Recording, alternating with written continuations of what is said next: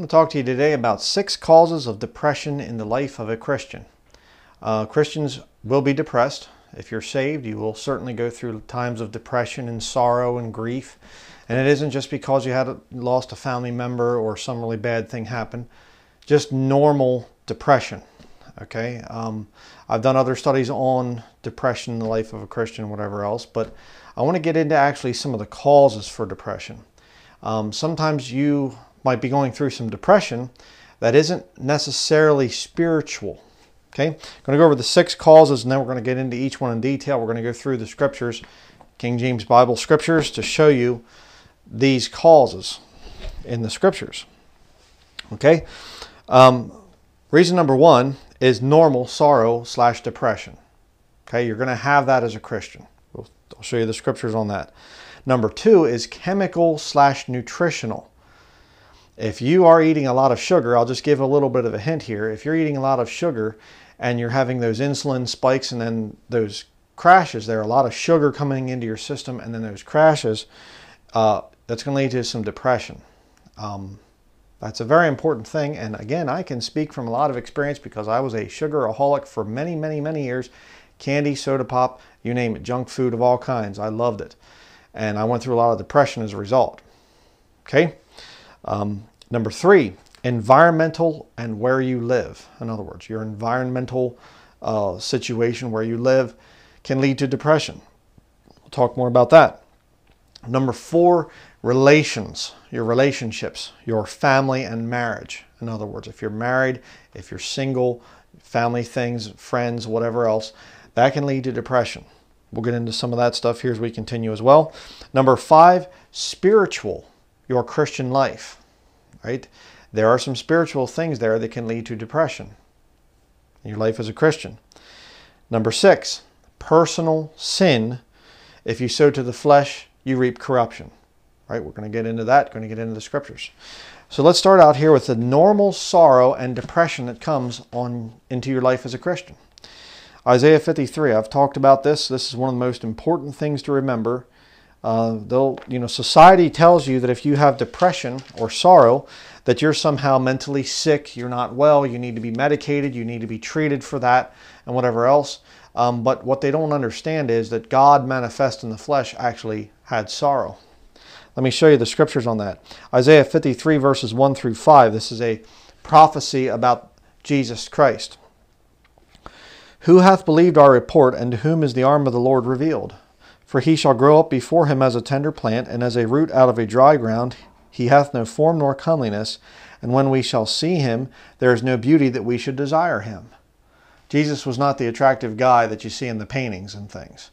This, you know, uh, blonde haired, blue eyed, you know, guy that's you know, knocking on the door or whatever else. That's not Jesus. Okay? Verse 3 He is despised and rejected of men a man of sorrows and acquainted with grief. And we hid, as it were, our faces from him. He was despised, and we esteemed him not. Surely he hath borne our griefs, and carried our sorrows, yet we did esteem him stricken, smitten of God, and afflicted. But he was wounded for our transgressions, he was bruised for our iniquities. The chastisement of our peace was upon him, and with his stripes we are healed. Uh, Jesus went through some sorrow and some grief. And guess what, Christian? If you are a Christian, in Christ, in other words, uh, you're going to have some of those same sorrows and griefs. You're going to see the things. I mean, can you imagine walking around down here as God manifest in the flesh, Jesus Christ, and He's looking looking at His creation, and He's looking at people that He created and gave life to, and seeing what they're thinking. He knew their thoughts.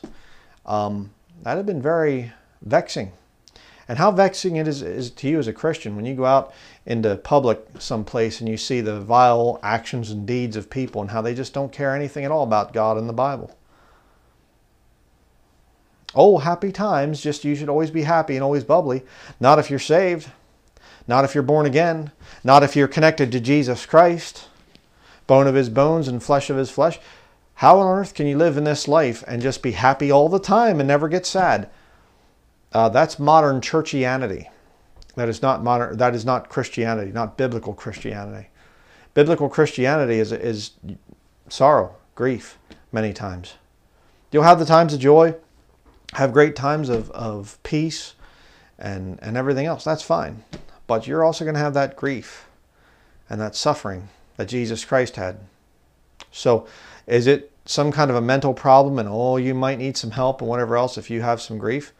Uh, no, it's not. It proves that you're spiritual and, um, you know, in fellowship with the Lord. You can look at uh, Philippians chapter 4 for that. We're not going to go, you know, about that. That I may know him in the power of his resurrection and the fellowship of his sufferings, being made conformable unto his death. But let's go to Romans chapter 9. Romans chapter 9. And you know, I, have said it in a lot of my studies, but I just always want to reinforce it, and that is you need to be turning to these places in a paper King James Bible if you have one. If you don't have one, then make it a priority in your life to get one. Okay? Um, it's very important to when when you're watching a video, any video from anybody who claims to be a Bible believing preacher that preaches out of the King James Bible, they should be holding a Bible in their hands and they should be telling you to turn in your Bible. Okay? Um, I want you to be able to make this your standard, not ever me. It's very important. Romans chapter 9, verses 1 through 5. I say the truth in Christ, I lie not, my conscience also bearing me witness in the Holy Ghost, that I have great heaviness and continual sorrow in my heart. The Apostle Paul writing here. Great heaviness and continual sorrow in my heart. You go to the doctor and you tell him that, you say, I have great heaviness and continual sorrow in my heart. You know what the doctor's going to say? He's going to say, depression. Then he's going to follow it up with, we can prescribe something for that, which we get into here in just a minute. Verse 3 For I could wish that myself were accursed from Christ for my brethren, my kinsmen according to the flesh, um, who are Israelites, to whom pertaineth the adoption and the glory and the covenants and the giving of the law and the service of God and the promises, whose are the fathers, and of whom, as concerning the flesh, Christ came, who is over all, God blessed forever. Amen.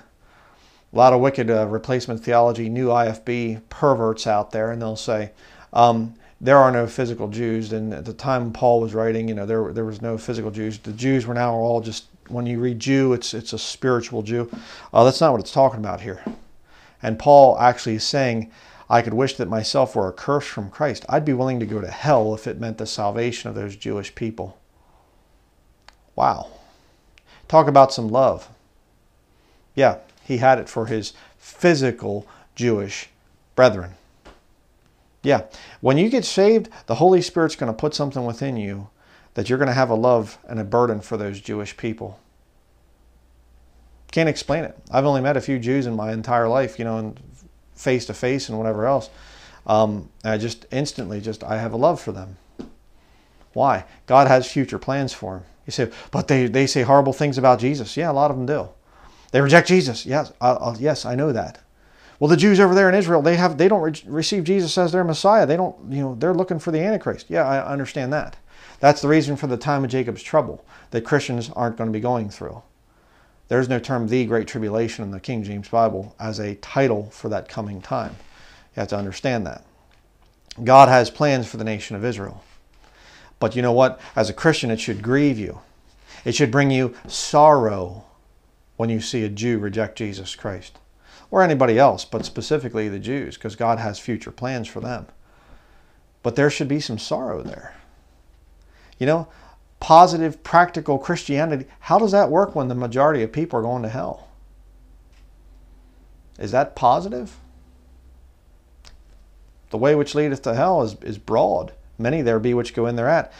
The narrow way leads to life, and few there be that find it. I'm paraphrasing there. But the whole point is most people are going to hell. Then should you live in a constant state of just positive, everything's happy, good, wonderful, butterflies and daisies and buttercups? No, there's going to be some sorrow there. That's normal to have. All right?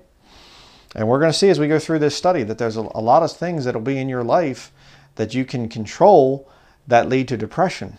And that's stuff that you need to fight. There's other things that you cannot control. And this is one of those normal sorrow and depression because of what's going on with the lost world out there.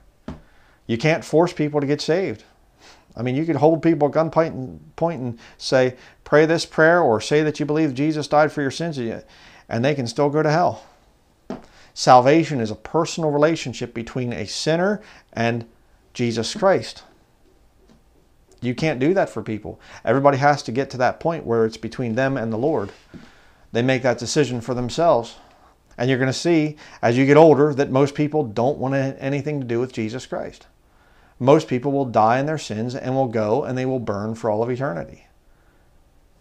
It's going to be some sorrow there. And some people you love yeah, you're going to watch them. And you have a burden for them. And they don't want anything to do, to do with Jesus Christ. But now let's look at something that you can do something about chemical nutritional. This is a big one, especially nowadays. Proverbs chapter 23, going back there to the book of Proverbs in your Old Testament. You know, there's there are are things in the grocery store today that nobody would have eaten years ago. Okay, um, I, I, mean, there's toxic food has been there for a while, ever since preservatives came out and whatever else. I mean, understand if you go back a few hundred years, you know, I'm, I'm not going to go over an exact date or whatever else. It's not the purpose of the study, but uh, you go back even probably 100 years ago, people out in the rural areas and things, at country areas, um, they're making their own food you know, early people that settled here in America, um, you didn't go and say, "Oh boy, oh boy, it's nice to get this land, you know, settled here." And hey, um, you know what, uh, honey, start gathering some wood for the fire. I'm going to head down to the grocery store there and pick up some, you know, some supper, you know, whatever. No, that wasn't there. You know, you're having to get your food through foraging or hunting, and eventually gardening and you know livestock and whatever you're you're having to make your own food, and there's no refrigeration, so you have to find ways to preserve that food. Uh, you know, it was a tough life, but you know what? They were healthy. And uh, of course, you get all these statistics that come out, and oh, it was very unhealthy. People had very short lifespans and things. Well, yeah, in the city, where a lot of those statistics come from, because people were taking their waste and throwing it out on the street and whatever else. But I don't buy this thing that people were just sickly and unhealthy all the time in the past. I don't buy that for one second. But let's read here Proverbs chapter 23, verses 1 through 3. When thou sittest to eat with a ruler, consider diligently what is before thee, and put a knife to thy throat if thou be a man given to appetite. Hmm. If you give in easily, I have a terrible time of it. I'll tell you what, right now, I have a terrible time fighting the urge to, to want junk food to want something sweet. There's been times I've literally been sick. I know the nutritional thing that I need to do to get better, and I'll fight that thing. My flesh fights it. Verse 3 Be not desirous of his dainties, for they are deceitful meat. Now, I read this for a very important reason. Um, back when this would have been written, uh, the people would have been eating what they can pick in the area, or grow in the area, or hunt in the area, or raise in the area. It's all local food. Now, and what, but say it this way, what about the king? The king wants something different than what the common man is eating. The king wants some kind of special treats that come from afar. All right? Well, guess what? Now we all eat like kings. You can go to a grocery store and you can get, you know, I can go here in northern Maine and I can say, uh, walk into the grocery store and there's tomatoes from Florida and or oranges from Florida and tomatoes from California and potatoes from Idaho, even though this used to be a really big potato area here in you know Aroostook County, but side issue. But you know, I can get food from all over the country. I can get food from other countries. You know, all over America and also other countries. Get some uh, you know whatever avocados or something like that from Peru or uh, kiwis or something like that. You see, I can get food from all over the earth here in the middle of nowhere in northern Maine. Just like a king would have been able to do back when Proverbs was written, when Solomon, when God wrote uh, Proverbs through Solomon. But you see, that is, you know, I can make some nutritional arguments there. You know, uh, there's some definite truth to the thing of eating locally produced foods. Um, you're going to be healthier because it's food that's grown in the area. You're going to get the proper nutrients to make it through that area, especially like with raw honey and things. Um, pollinated. I mean, I, I, used to have allergy problems, terrible allergy problems, where I could barely even be outside. I was just sneezing and eyes watering and blowing my nose, and, and it was terrible. And I heard the thing about eating local raw honey, and that that will take care of a lot of the pollen allergies. And um, and I did it, and it's been working for years now, and almost no allergy problems now. I can go outside, I can work. I've been working for uh, last couple of weeks doing firewood and whatever outside. Sneeze occasionally, blow my nose occasionally, and just go on about working. Why? Local raw honey. So I do believe in local foods. I think that that is something very smart nutritionally. Get back to the depression calls thing here in just a minute, but my whole point is it isn't just okay, we're not getting local foods now at the grocery store or if you go to a restaurant or something especially. Don't recommend that either, but if you do that, it's now also foods that are made primarily of toxic chemicals and you look into some of the toxic chemicals, you do some of the the chemistry type of study and whatever, and you'll see that a lot of this stuff leads to depression. It's not just white sugar, refined sugars.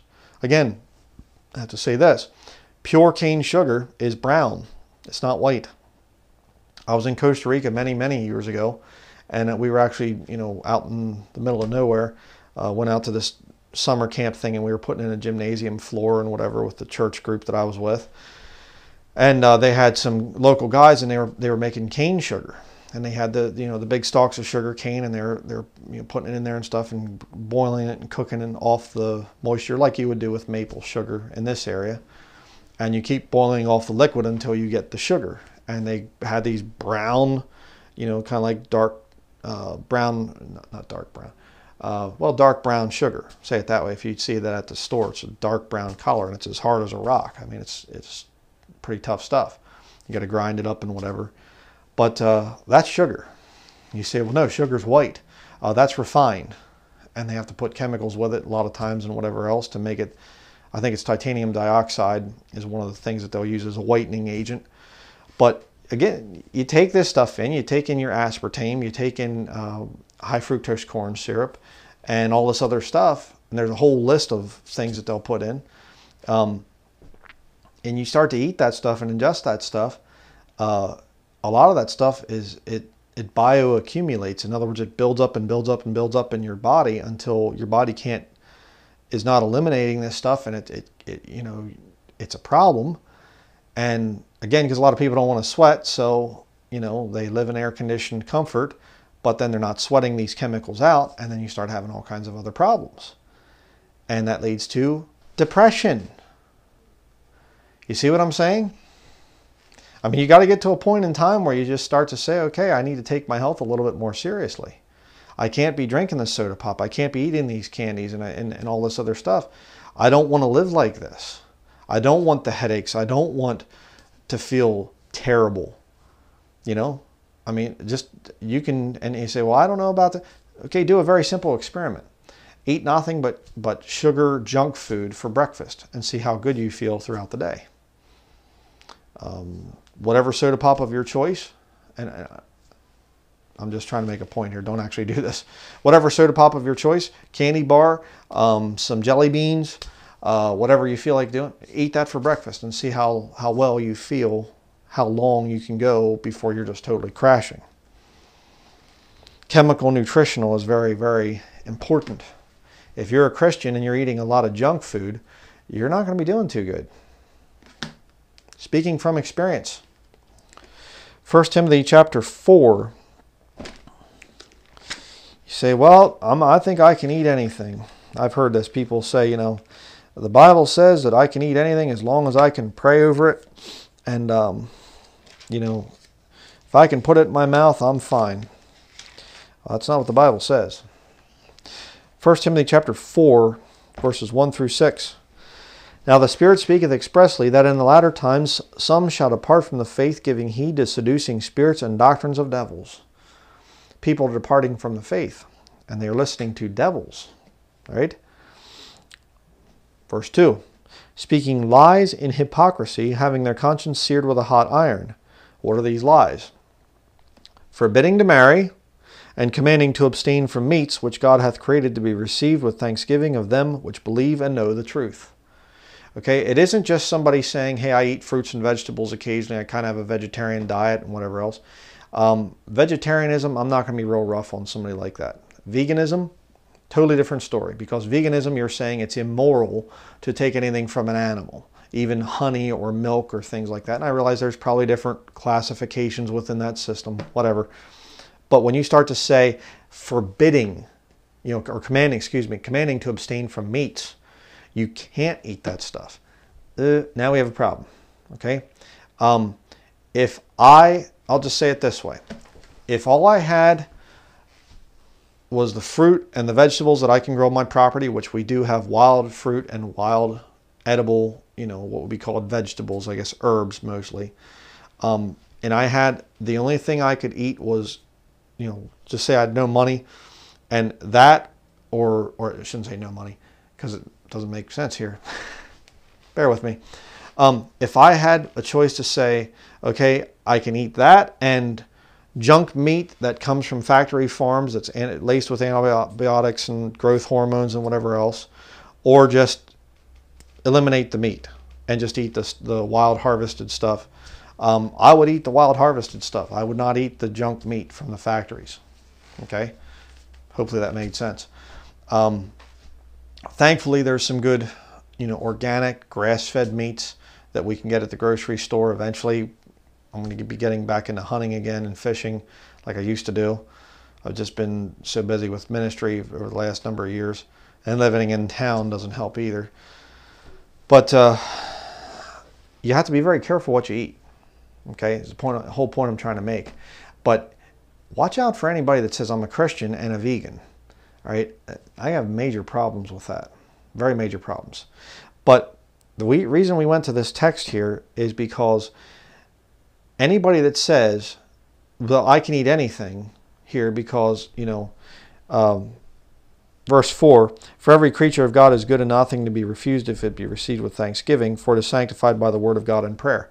And people, I've actually heard people say, see, any type of food is good. It doesn't say that. It says, every creature of God is good. All right? If you have to eat a worm, an earthworm, eat the earthworm. Okay? Kind of gross and whatever else, but pray over the thing first, you know. if you have to eat snake or something like that, or you have to eat some kind of bird, or you, you know, clean or unclean animals and whatever else, eat what you have to eat, right? Um, but in, when it comes to chemical nutritional, uh, I would say, you know, nutrition is extremely important. And, I, and as I get older, I realize that more and more. If your nutrition's messed up, it's going to lead to a lot of depression issues. Again, speaking from experience. And I could say a whole lot more on that whole stuff, thing. And I didn't even get into the thing of the pharmaceuticals. Okay, um, the one of the biggest scams in the pharmaceutical industry is the whole depression medication thing. Um, the reason being and I have in my study, Dr. Peter Gøtzsche, I think he's, I forget what, uh, what nationality he was now. It's been years ago that I did that. But he actually says that the whole depression, you know, doctors, you know, prescribing medication for curing depression, it's a big scam. Right. How do you measure depression? Right. If you can take somebody's blood pressure, you can say, okay, they have really high or they have too low or whatever else. You can take readings of that. How do you take a reading of somebody's depression? You can't. So antidepressants are also a very, very serious problem. And a lot of times what they'll do is they'll actually make your body, you know, actually more sensitive and actually have bigger problems with depression when the pills wear off. They make you more dependent, in other words. Uh, they mess with the chemistry of your brain. So again, if you are on medication, um, you need to wean yourself off that. And I said wean yourself off that. I would not say cold turkey because there are some very, very toxic pharmaceuticals. And, you know, again, and, you know, well, Bryan, how do I go about doing it? You, you need to do your own research, okay? I didn't go to some magic preacher years ago and say, um, "Oh, oh, uh, preacher so and so, please tell me how I can clean up my life." Uh, no, I did the research myself. All right, and you can do the research yourself. Watch some videos on nutritional healing type of stuff. Dr. Eric Berg, I like some of his stuff. John Bergman, Dr. John Bergman, some of his stuff is okay. He's got a foul mouth. I don't like that. But those are the two guys. Uh, Dr. Mike VanDerschelden, another one that's good. Uh, there's there's a bunch of guys out there that are that are into nutritional healing, natural type of health. Uh, Josh Axe, Dr. Dr. Josh Axe, he has some good stuff as well. Um, watch those guys. You know, pray about things. Get into nutrition. That will help help tremendously with a lot of your depression and sorrow issues. So, next we're going to go to environmental, where you live. Okay? And I'm not going to continue the study because honestly, I'm here in town in the ministry office and I really don't want to be here right now uh, and talk about the environment where you live. So I'm going to be switching here and uh, going to a more appropriate location to preach the rest of this study. Okay, now this is a better place to talk about the environment and where you live, okay? uh, not in town, but rather out in nature. Turn your Bible to 2 Peter chapter 2. Where you live does affect you, okay? Especially nowadays. I mean, you could live in a town or a city back in when the Bible was written, and it wasn't as toxic as it is today. I mean, with all the pollution and everything else, being in a pretty bad situation in there. You know, not just uh, exhaust from vehicles and whatever else, but actually also, uh, you know, Wi-Fi signals and all that other electronic smog, as it's called.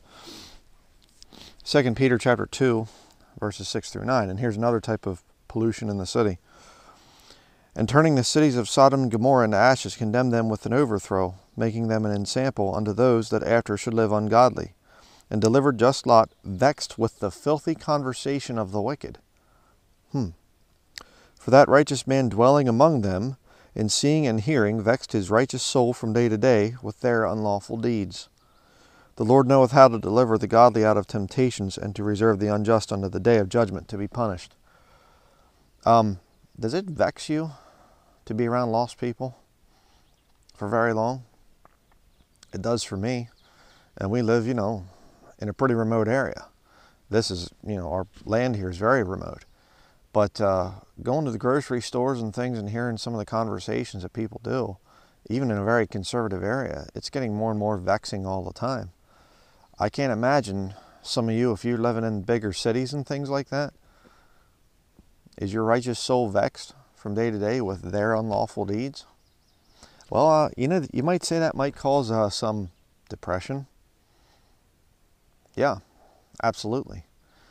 Uh, I can tell you that moving out here into nature was one of the best decisions we've ever made. It's always been my dream. It's it's it's not something that I just flippantly said, "Oh, I'd like to do that." It was always my goal to live in a natural setting like this. We don't even have electricity here, so um, we're not getting hit by Wi-Fi signals or anything. Uh, that stuff's, you know, I mean, it's not here and uh, the stress level just dropped. I mean, we can go into when we go into town to our to the place in in uh, Bridgewater where we have our office at. You can just feel the stress coming back, and uh, so if you really have very serious depression problems, I would suggest that you make some radical changes in your life. One of those might be considering moving out into the country. Um, you don't have to move way into a northern area where it's very rough in the winter or whatever, but there's cheap land everywhere. Okay, this land here we paid about three hundred dollars an acre for it. Um, I've seen, you know, uh, remember when we first moved to Maine, there was a cabin we actually looked at, and it was a, a cabin with I think 12 acres of land for $7,500, $7,500. And I've seen people, they say, wow, it must really be expensive to live out in the country. Uh, no, actually, it's very expensive to live in the city. Okay, you can buy land in remote areas for less than a thousand dollars an acre. Um, I mean, literally, you could save up a little bit of money, go out into the country and buy some land, and go out there and build a cabin as you can, or or put a motor home on it, or whatever else. You say, well, that, that's a really radical change. Well, if you're suffering from really serious depression, you might have to make some radical changes. You know what I mean? Acts chapter 8.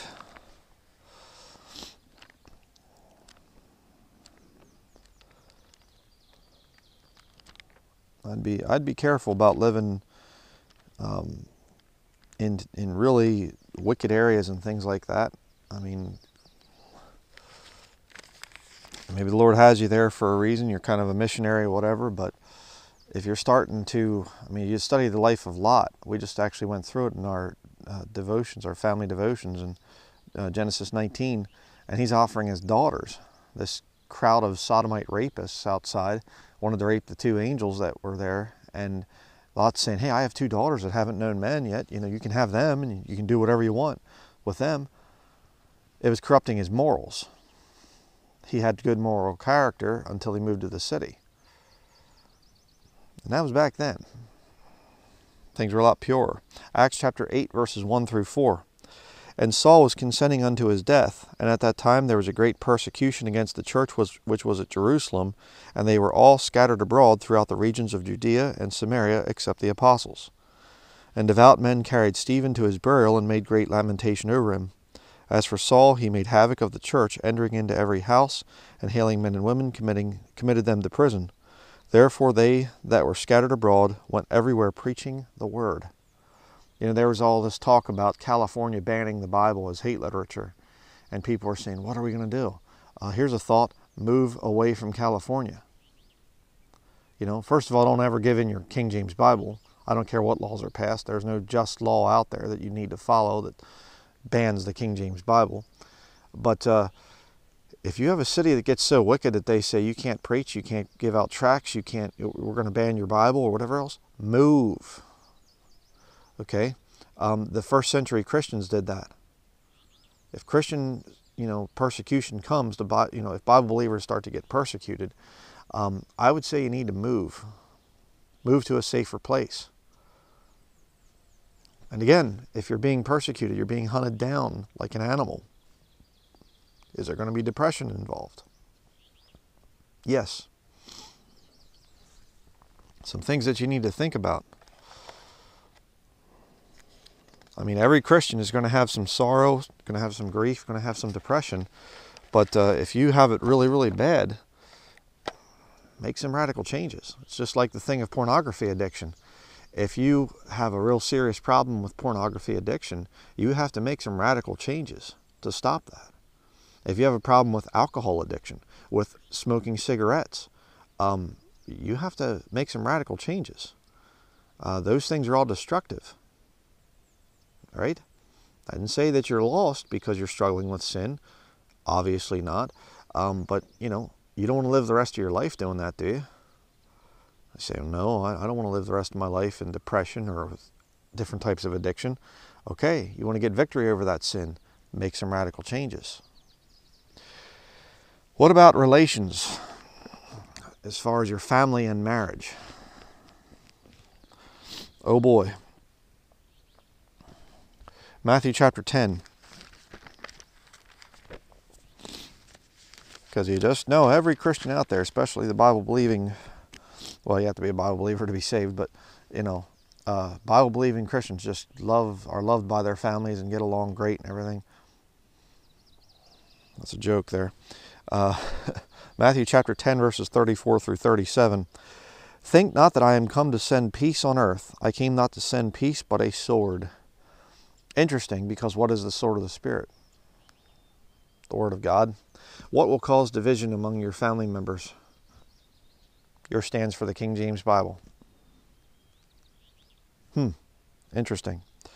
Verse 35 For I am come to set a man at variance against his father, and the daughter against her mother, and the daughter in law against her mother in law. And a man's foes shall be they of his own household. He that loveth father or mother more than me is not worthy of me, and he that loveth son or daughter more than me is not worthy of me. Oh, well, Jesus wouldn't, uh, he wouldn't encourage us to be divisive and take stands that would make problems in our families, would he? Uh, he just did. Um, are you his disciple? Do you follow Jesus? Are you living for Jesus? Are you living in a way that's pleasing to him? You're going to go through it with your family. And you'll be amazed when you truly get straightened out doctrinally and you're all excited and everything else. You'll go to your uh, Christian relatives and you'll start talking to them about hey did you know that these new versions they come from the vatican? And did you look at this one verse they took this thing out and look at that thing over there. And all of a sudden those uh, christian relatives will get really angry at you. And you start to say uh, hey we shouldn't be listening to rock music. You know this contemporary christian music stuff is fake it's phony it's it's bad stuff um, and all of a sudden those uh, christian relatives are going to get really angry they're going to say you're part of a cult. You're you're get these where are you getting these beliefs from and all this other stuff. So mosquitoes. You, you get up really early in the morning here, so you you you know usually can get up earlier than the uh, black flies, but uh, the mosquitoes are still hardy enough to get up early morning. so excuse me while I'm killing uh, bugs here. You know, kind of like being on YouTube and people in the comments. You know, they get these trolls coming along. You gotta, you know, take care of them. But uh, so yeah, that's something to think about. 1 Corinthians chapter 7. You know, it really comes right down to the thing of do you want to be right with God or, or with your family? You can't have both. 1 Corinthians chapter 7, verses 12 through 15. I have never met one Bible believer that got along with every member of their family. Never. Um, your parents might be saved. You might have a brother and sister that's saved, or whatever else. But the the more you get into this book, the more this book is going to divide that family. It's just the way it is, and uh, that can lead to depression. 1 Corinthians chapter 7 verses 12 through, through 15. Chapter 4. All right. But to the rest speak I, not the Lord. If any brother hath a wife that believeth not, and she be pleased to dwell with him, let him not put her away. And the woman which hath an husband that believeth not, and if he be pleased to dwell with her, let her not leave him. For the unbelieving husband is sanctified by the wife, and the unbelieving wife is sanctified by the husband. Else were your children unclean, but now are they holy. But if the unbelieving depart, let him depart. A brother or a sister is not under bondage in such cases, but God hath called us to peace. You say, wait a second, I thought over there in Matthew it said that we're, I came not to bring peace but a sword. But here it says we're called to peace. Well, it's saying there that uh, the sword's going to be there. The, the sword of the Spirit is going to be there in your life. And uh, that's going to be there, but uh, you're supposed to have peace personally. All right, there's supposed to be some personal peace there. All right, that you're not going to have peace with the world, but you as a Christian, you should have a level of peace. You're not supposed to just be depressed all the time, in other words. That's why I suggest if you're living in the city, uh, you might need to leave to get a little bit of peace. If you're eating junk food, if you're if you're doing other things that are leading to depression, just more than just the normal amount that comes on you as a Christian, um, you need to have some peace in your life. You know? And, and you know, I just want to say something here too that, that I find so funny, and that is people will attack me and they'll say that, you know, Denlinger's an isolationist, he lives in the middle of nowhere and whatever else. What about your Savior Jesus Christ? I can tell you I have never spent a month away from anyone out in the wilderness. Um, I go to town, I talk to people and things like that. Uh, but Jesus Christ went out for 40 days into the wilderness to fast and pray. So uh, before you call me an isolationist, you might want to think about Jesus Christ. He got away from people quite frequently. The Garden of Gethsemane, they went there and they, they resorted, you know, thither, the Bible says. They went out there for peace. Think about it. Next, we have spiritual another cause for depression. Spiritual your christian life. All right? Second corinthians chapter 10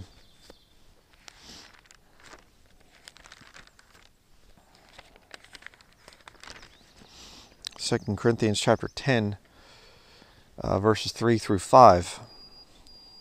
It says, For though we walk in the flesh, we do not war after the flesh. For the weapons of our warfare are not carnal, but mighty through God to the pulling down of strongholds, casting down imaginations and every high thing that exalteth itself against the knowledge of God, and bringing into captivity every thought to the obedience of Christ.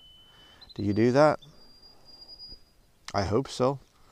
I mean, if you just let your mind just wander and, and you never really want to think about anything uh, spiritual and, and you just don't try to control your thought life, you're going to have some depression. You have to fight the spiritual realm. All right, there are spiritual uh, influences and things like that that that you know a lot of us go through terrible nightmares, and you think you wake up and you just say to yourself, "Where on earth did that even come from?" You know, weird. This this dream I had was just awful. I don't, I don't think these things. Well, you're being attacked spiritually. But then, then there's also the daily struggle with your flesh, your flesh wanting to, to do things and, and whatever else. You have to fight that. You say, Do I get a day off? No. Sorry, you don't. I don't. Uh, every day it's a struggle. The war between the spirit and the flesh. You know, spirit meaning Holy Spirit. You know, Galatians chapter five. I'm talking about here. Um, that, that's going to be there. But if you just let the flesh take over and, and just get its way, and you just give in to your flesh and you eat junk food and you, and you don't want to be motivated to do anything with your life and whatever else, you're going to have depression, right? You're going to have serious depression. You need to go through this right here. Uh, you know, casting down imaginations and every high thing that exalteth itself against the knowledge of God. Um, you need to be reading the Bible. You need to be praying. You need to be listening to the right kind of music. Your flesh isn't going to like the right kind of music.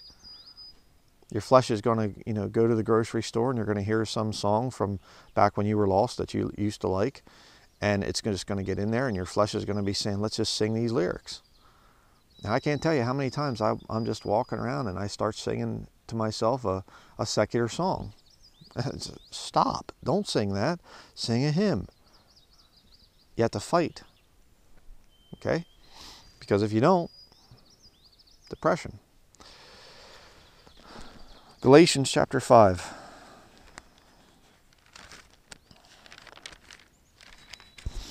Galatians chapter 5, verses 16 down through verse 26. This I say then, walk in the Spirit, and ye shall not fulfill the lust of the flesh. That's what I just referred to here while we were reading there in, in 2 Corinthians chapter 10.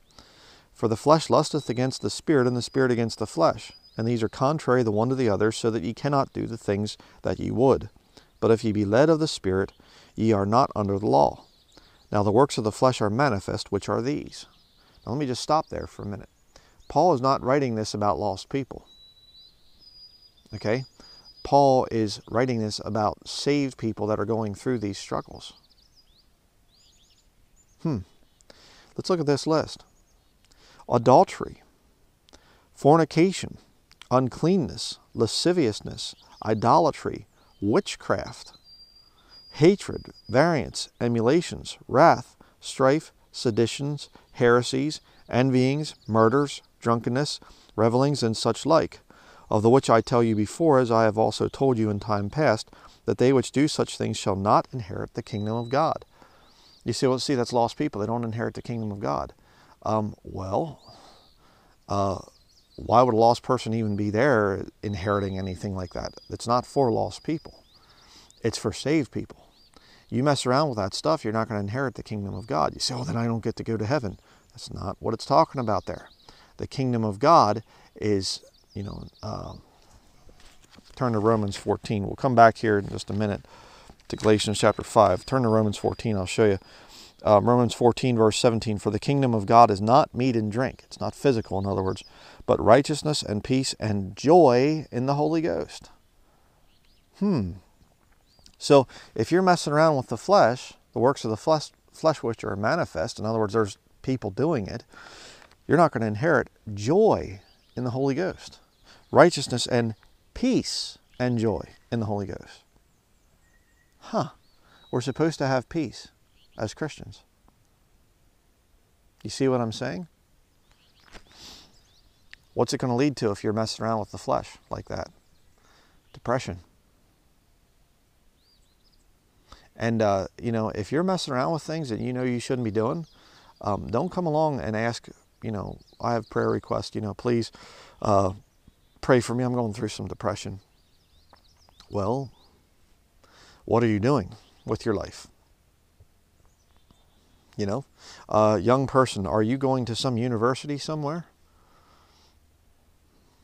Um, what's it like to be around people that, if it's a secular university especially, uh, that have no desire for God and, and that don't even believe in God, they're atheists. But you're there because you have to be there and you have to get your degree so that you can be a success in life. mm-hmm.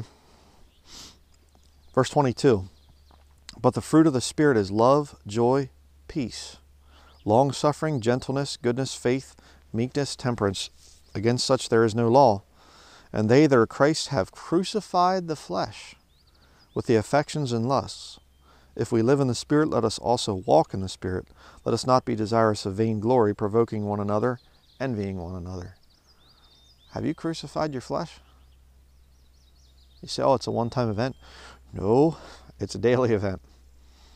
That's how you walk in the Spirit. You put your flesh down. And uh, when you do that, you'll have peace. You know, it's a lot easier to be in, in town and just turn up a thermostat and say, there, I'm just going to set the thermostat year round. You know, I'll get a, what do they call it, a heat pump or something like this. And I've seen people with those things. And uh, I guess it's a heat pump or I don't know, whatever. But they have these things that's both air conditioning and heat, you know, and, and it's very affordable and all this other stuff. And you just set your thermostat for 70 degrees or 72 degrees, and there it is year round. Air conditioning in the summer months and, and heat in the winter. That's a lot easier than coming out into the country area and splitting firewood. And you have sore back and, and you're out there and, and uh, bugs bothering you and, and whatever else. Um, but you put down the flesh that way. Make things a little bit more difficult for your flesh. And while you're doing that, you can sing some hymns and think about Scripture.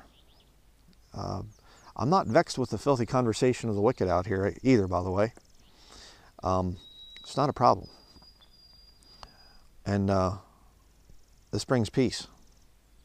And I've struggled very, very much with very heavy depression.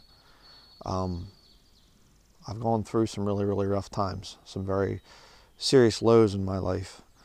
Um, and it's not all just been ministry stuff. I've been through other types of depression.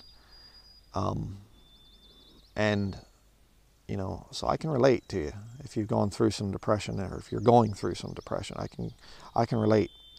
Um, I'm not going to look down my nose at anybody that's in depression. Um, but I'm going to question if you are not getting victory over that depression and you're staying in a lot of these things that I'm condemning here and that the, that the Bible condemns, it's not just me condemning, I'm going to have to question and just say, do you really want victory over that depression? Or do you want to continue in that? You have to make some changes.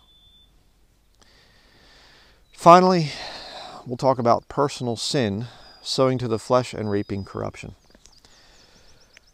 Galatians chapter 6, verse 7 through 9. Be not deceived, God is not mocked.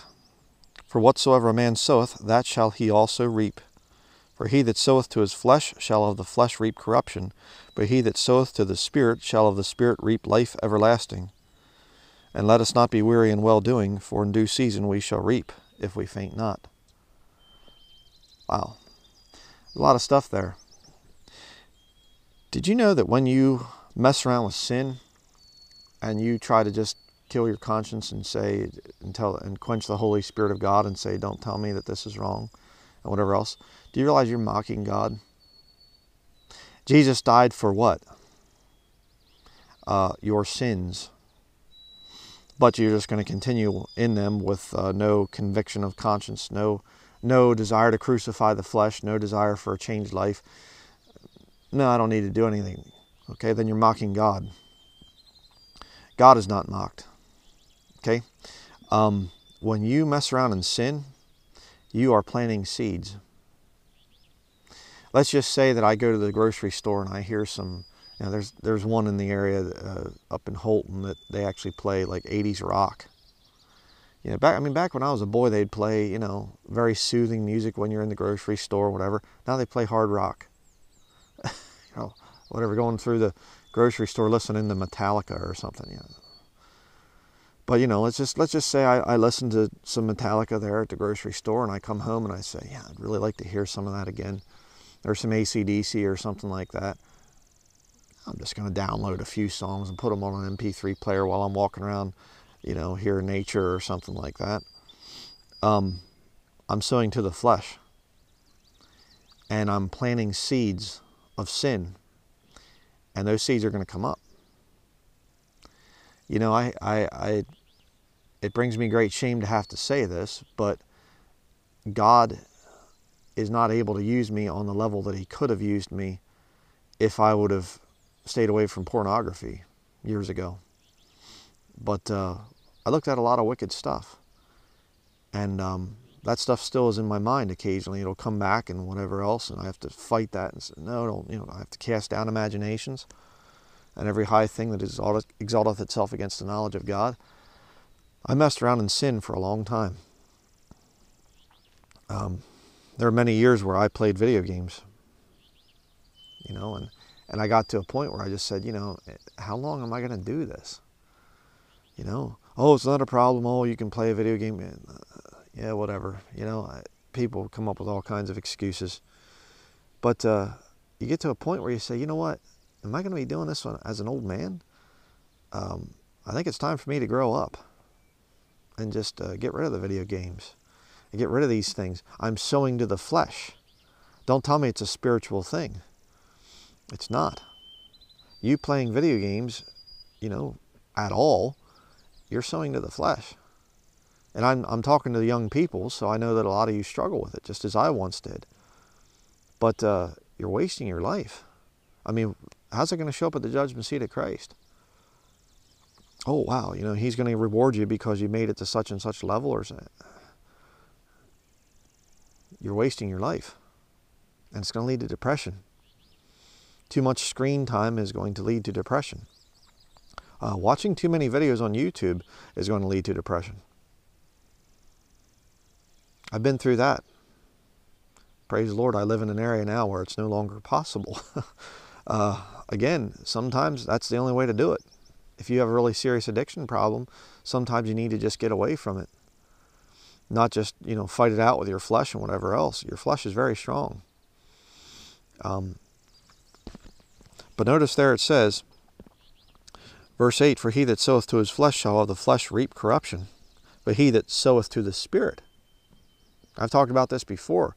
Um, the way you fight addiction is actually to replace one addiction with a good addiction. Um, if you're addicted to playing video games, get addicted to reading the Bible. Get addicted to reading books about the Bible. Um, all kinds of good books out there that have been written. Uh, get addicted to ministry type of stuff. Replace one addiction with another addiction. If you have an addiction with pornography, then you need to replace it with something else. You know, um, I, I think one of the, the quickest ways, and I've talked about this in my one sermon about the pornography epidemic thing, one of the quickest ways to take down lust, uh, when you start to have that lust building to look at something wicked, um, start singing a hymn. You say, oh, I put some hymns on. No, no, no, no. I didn't say put some hymns on. I mean, go out, get an old hymn book or print one, print some hymns off of the internet or whatever. Um, you know, start singing, you know, at the cross, at the cross where I first saw the light and the burden of my heart rolled away. That or, you know, uh, I'll cherish the old rugged cross or what can wash away my sin? Nothing but the blood of Jesus. You know, what can make me whole again? Nothing but the blood of Jesus. Oh, precious is the flow. That makes me white as snow. You do that and see how good your lust uh, continues. it won't. It shoots it down very quickly so do the Spirit. You see? And you say, well, brother, I'm doing really good, but uh, I sure am getting weary. I can relate to that too. Let us not be weary in well doing, for in due season we shall reap, if we faint not. Um, you can be really spiritual and you can be in ministry full time and whatever else, and you can faint. You can just quit. You can say, you know what? I'm just really getting tired of this. Um, that's been a real temptation for me over the years. And uh, there's been a lot of you out there that have just encouraged me, just written a letter or this or that or whatever else, and just stick with it, brother. You're changing people's lives. You're you're helping people. I know you get frustrated, but just stick with it. I don't. I, I can't tell you how many times that has been what's gotten me through. We need to encourage one another. Exhortation. Finally, we'll go to Romans chapter 6. So you mess around and you have sins in your life. And you know, yeah, I understand you're a sinner. I understand that. You're a saved sinner as a Christian. I understand. I'm not saying you're going to be sinlessly perfect. I've never taught that. But uh, you can really mess around as a Christian. You got to be careful. Romans chapter 6, verse 19 through 23. Let's read that. I speak after the manner of men because of the infirmity of your flesh. For as ye have yielded your members servants to uncleanness and to iniquity unto iniquity, even so now. What's the now? After you get saved. Before you're saved, well, just do iniquity. What's the point of trying to live righteously? Even so now yield your members servants to righteousness unto holiness these wicked devils out there that say that uh, salvation is a simple profession that you make. It's a faith alone type of a thing. Your faith saves you. Your mental decision saves you, and there's no change after that. Um, they're wicked. They're not saved. They're disgusting people. Verse 20 For when ye were the servants of sin, ye were free from righteousness. What fruit had ye then in those things whereof ye are now ashamed? For the end of those things is death. I, there's a few things I, I just pound on and pound on, and I just keep on preaching it because a lot of people just don't get it. And one of those things is uh, sin is negative. All sin is negative. There's no such thing as a good sin that the Lord just takes from you because He's so mean. Everything that you do that's sin in the Bible is negative, and the end of it is death. You know, I'll get hard on you if, if, if you're smoking cigarettes. Why? Because it's going to give you lung cancer and emphysema and whatever else. I'm going to be hard on you if you're drinking alcohol. Alcohol in, in abundance is, is, you know, I'm not even talking about drunkenness, but even, even just drinking a whole lot of alcohol, it, it's, it's not good. Very little alcohol out there. Very, uh, I should, uh, very little alcohol. Not very many types of alcohol out there are actually healthy. Um, you know, there's wine that is good for your stomach's sake and your often infirmities. It's but it's a little wine. Um, I know that you can make tinctures and herbal tinctures and stuff out of you know vodka and whatever else, but you're not supposed to be sitting around drinking cups of it. You know, things like that that the Bible condemns. The Bible condemns drunkenness and and you know lust and whatever else. Those things are negative. It leads to death, premature death.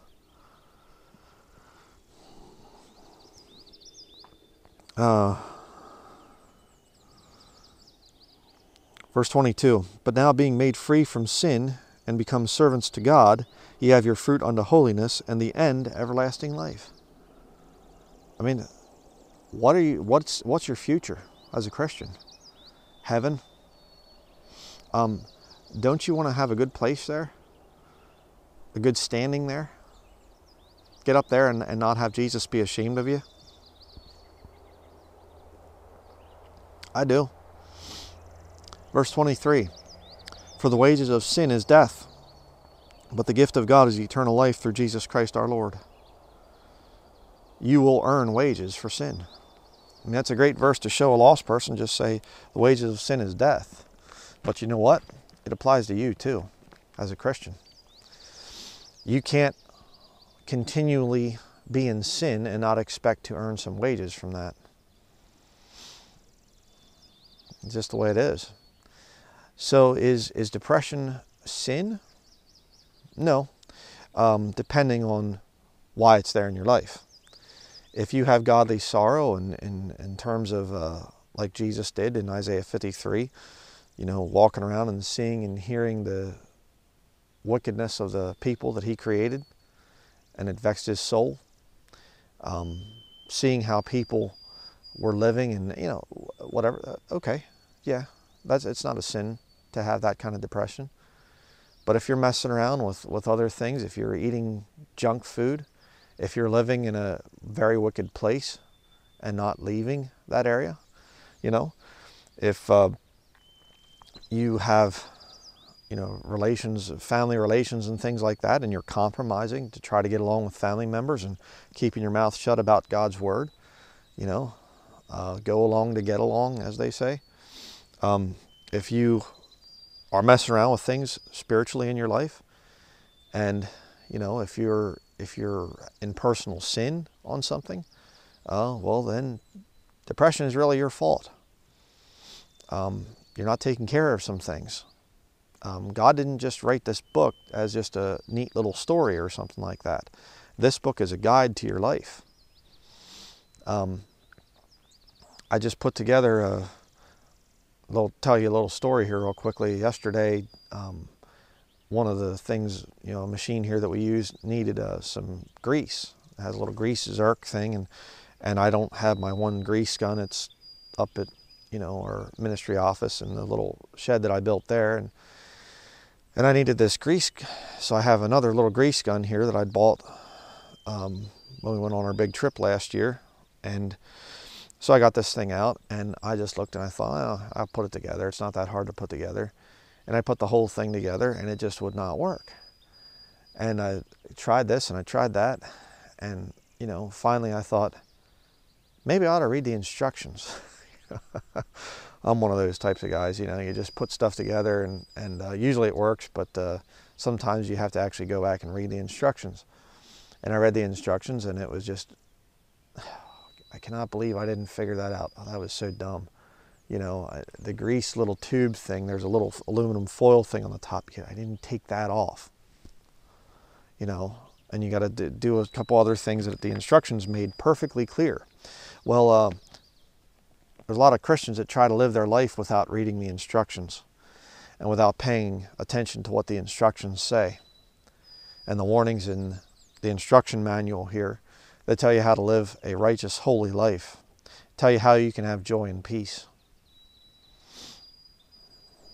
and uh, well, you know, I'll just keep uh, trying to put things together here in my life, and and I'll just kind of ignore the instructions. Hmm. A little pride there, don't you? Um, and you know, as they say, I'm preaching to the choir here. You know, I've I've been through it myself. Uh, you know, I'm kicking my own self with this study. So I hope that this has been a help to you. I hope it's been a challenge to you. More even than in help, I hope it's it's been a challenge to you. If you're a Christian and you are struggling with some serious depression, you need to look at yourself and look at your life and say, uh, are there what are the causes of this depression? Um, do I need to make a radical change in my life? And um, please do not go to a doctor and get depression medication. That stuff will mess you up big time. Um, it's not good. Uh, depression is not a, uh, a lack of pharmaceutical drugs. All right, uh, that's absurd. Um, depression has a lot of different causes. And uh, so that's going to be it for this video. Like I said, I do hope it's helped you. I do hope it's challenged you. So we will see you in the next video. Thank you very much for watching.